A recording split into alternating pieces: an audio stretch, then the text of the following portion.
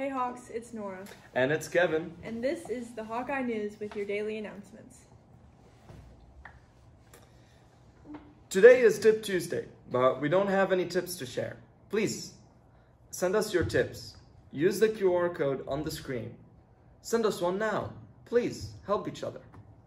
The yearbook will hold their drawing for the free yearbook or gift card this week. So if you want a chance at those prizes, complete the survey today.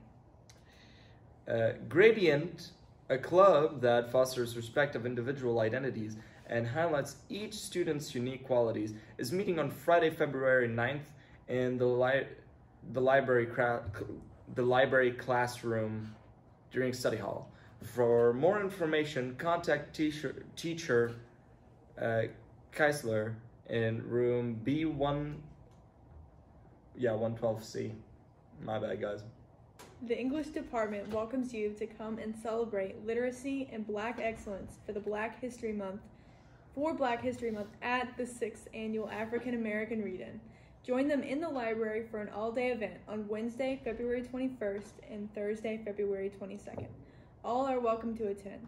Come and read your favorite book, poem, or piece of literature written by a black author. Are you a student of color who has a passion for writing? Then come show off your work at the African American Read-In. Black students and Afro-Latino students are welcome to come and read their original works in celebration of black literature. For more information, please email Ms. Boucher Neller.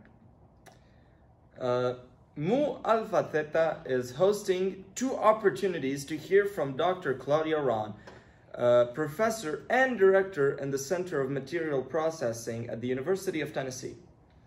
First, after uh, school on Wednesday, January 31st, Dr. Rawn will present an overview of material science and engineering MSE program at UT.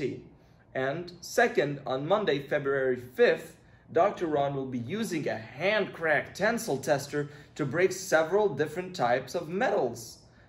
Both events will be held in D110 after school until 5 p.m.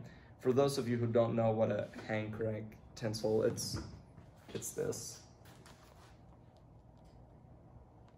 Oh, they got it.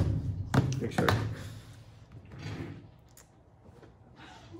Mu Alpha Theta is hosting these events, but everyone is invited to attend. Interact Club will be selling Krispy Kreme donuts on Thursday, February 1st for $1 a donut before school and during lunch.